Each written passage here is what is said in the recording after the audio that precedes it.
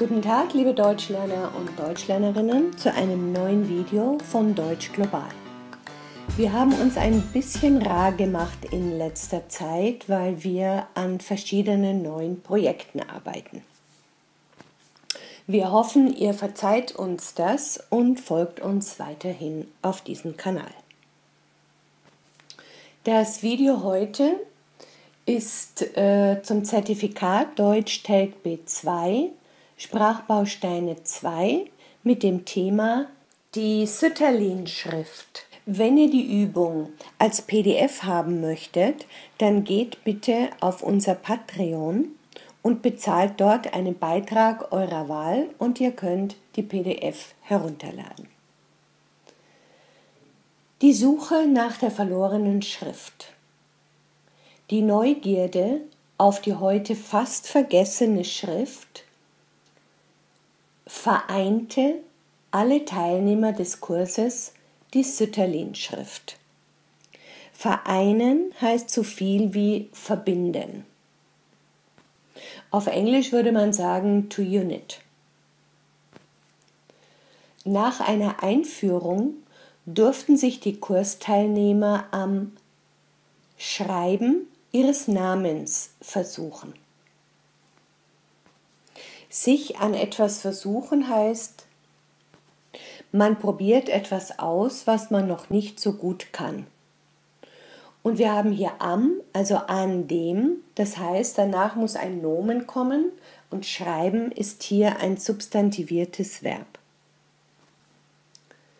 Dazu wurden die einzelnen Buchstaben zunächst auf dafür vorbereiteten Lineaturen geübt. Ich denke, das ist ganz logisch und braucht keine weitere Erklärung. Am beeindruckendsten ist, wie akkurat und schön diese Schrift aussieht. Bevor es in Deutschland die Sütterlin-Schrift gab, schrieb man im 18. Jahrhundert in der Kurrentschrift. Das Schreibwerkzeug war der Federkiel, der aus Gänsefedern hergestellt wurde und erst zurechtgeschnitzt werden musste, bis man ihn zum Schreiben verwenden konnte. Verwenden wozu? Zum Schreiben. Hier handelt es sich um eine finale Angabe und nach zum, also zu dem, brauchen wir einen substantivierten Infinitiv. Durch den Richtungswechsel beim Schreiben entstanden verschieden starke Striche. Bei ist eine Präposition und verlangt den Dativ und danach ein Nomen. Man könnte den Satz auch so sagen, wenn man schreibt, dann haben wir wenn eine Konjunktion, die immer mit einem Verb steht. Man hat hier also immer zwei Möglichkeiten. Bei plus Präposition oder wenn plus Verb. Zum Beispiel auch bei gutem Wetter. Das heißt, wenn das Wetter gut ist. Dieser Duktus machte die Korrentschrift klar erkennbar. Am Ende des 18. Jahrhunderts etablierte sich die aus England kommende Stahlspitzfeder auch in Deutschland. Das Verb ist reflexiv und heißt sich etablieren. Diese Umstellung auf ein anderes Schreibwerkzeug veränderte aber auch die Schrift. Da das besondere Charakteristikum dieser Schrift nun durch den Druck, den der Schreiber auf das Schreibgerät auswirkte, erzeugt wurde. Es ist klar, dass in diesem Satz das Verb fehlt. Und vom Inhalt her passt natürlich nur veränderte. Die Folge davon war eine sehr steile Schrift.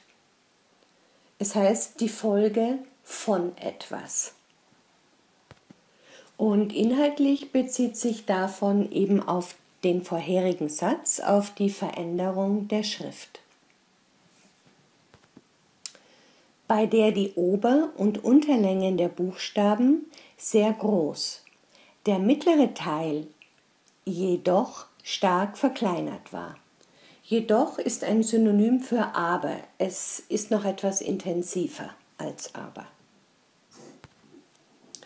Diese Schrift war nur noch schwer lesbar, so dass die preußische Regierung 1911 Ludwig Sütterlin den Auftrag gab, eine Schrift zu erfinden, die diese Makel nicht mehr aufwies. Wir haben hier einen Relativsatz. Ein Relativsatz ist Nebensatz und deshalb muss am Ende des Satzes ein Verb stehen. Makel bedeutet hier so viel wie Fehler, wobei mir das Synonym Schönheitsfehler hier besser gefällt. Also eine Makel aufweisen heißt dann so viel wie einen Schönheitsfehler haben. So entstand die Sütterlin-Schrift, die immer die gleiche Strichstärke aufweist, keine Steillagen mehr hat und damit sehr gut lesbar ist.